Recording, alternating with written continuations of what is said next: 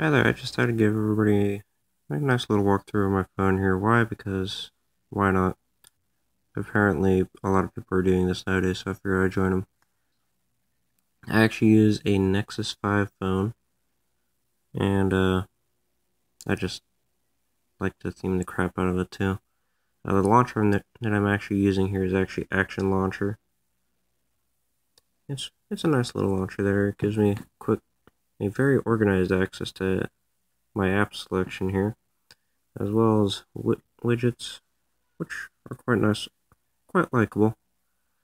And I also got a couple shortcuts over here too. Uh, I actually only run one home screen on my entire phone here because I just do. I've never I've never actually ran a whole lot of them.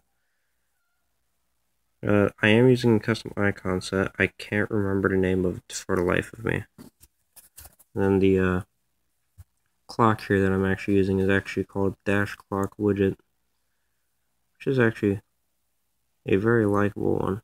I actually like it a lot. It lets me adjust all kinds of settings here. Yeah.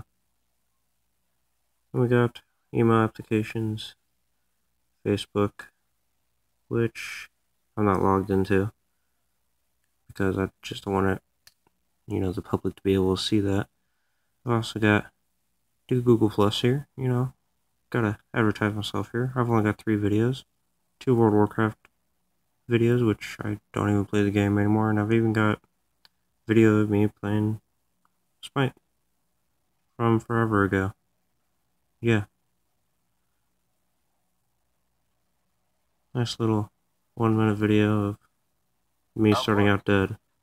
Alright. Then, one wonderful thing I really like about Action Launcher is the shutter, the shutter mechanism. As you can see here, I, could, I swiped up on there and that opened up an actual folder, you know, just like these folders.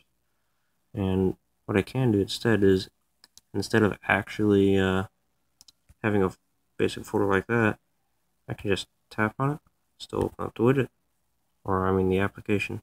I can also do it for widgets like right right here what I have with Chrome if you can see it. Yeah, I can just swipe upon that and that pulls up the Chrome widget and yes I can change it to any of these that I want. So we'll go with Sound Search. So now when I swipe up on Chrome, it asks me what's the song. I just like the Chrome a little bit too much, so it's actually pretty convenient. Yeah, where'd it go? There it is.